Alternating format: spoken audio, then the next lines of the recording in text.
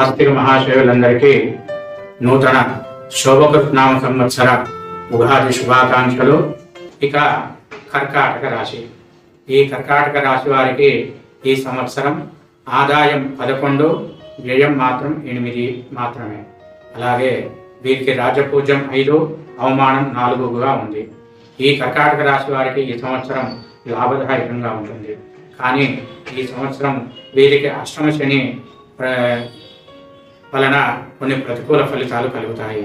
అష్టమ శని వలన ఈ కర్కాటక రాశి వారికి నానా కార్య విరోధశ్చ వ్యాధి పీడ ధనక్షయం అపమృత్యు భయప్రాప్తి అష్టమస్తే శనే భవేత్ అనేటువంటి ప్రమాణాన్ని అనుసరించి శ్రమ ధనధాన్య నష్టములు ఆకస్మిక ప్రమాదాలు అనారోగ్యము కార్య విఘ్నములు వాహన మూలక నష్టములు అన్నదమ్ములతో ద్వేషము మనస్తాపము అధైర్యము మొదలైనటువంటి ప్రతికూల ఫలితాలు ఉన్నప్పటికీ రాహుగ్రహం పదవ స్థానంలో సంచరించడము మొదలైనటువంటి మరి కుజుడు మొదల బుధుడు రవి మొదలైనటువంటి గ్రహాల అనుకూల స్థితి వలన ఈ కర్కాటక రాశి వారికి తీర్థయాత్రలు చేయడము శుభకార్యాలను ఆచరించడము ధన వ్యయము ఉన్నప్పటికీ కూడా మనస్సౌఖ్యం లభించడము అలాగే కఠినమైన పనులను పనులకు బాధ్యత వహించాల్సి వచ్చినప్పటికీ కూడా వీరు చక్కగా వారి కార్యదక్షతను చూపి విజయం సాధిస్తారు.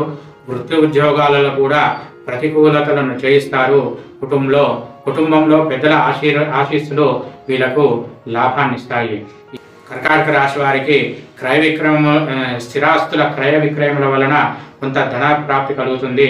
అలాగే కొంత ఆలస్యంగా కార్యసిద్ధి కలుగుతుంది. ఈ కర్కాటక రాశిలో పునర్వసు నక్షత్రం వారికి ఈ సంవత్సరం మధ్యమంగా ఉంటుంది. వీరికి కొద్దిగా అనారోగ్యం ఆరోగ్యం పైన శ్రద్ధ వహించాల్సింది వహించవలసి ఉంటుంది.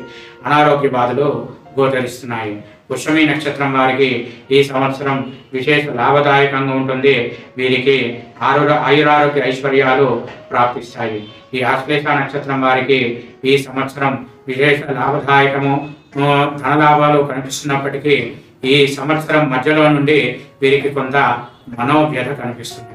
ఈ కర్కాటక రాశి వారు మరిన్ని శుభ ఫలితాలకై నరసింహస్వామి ఆరాధన శనిగ్రహ జపాలు నువ్వుల దానము మొదలైనటువంటి శాంతులు ఆచరించినట్టయితే వీరికి మరిన్ని శుభ ఫలితాలు కలుగుతాయి.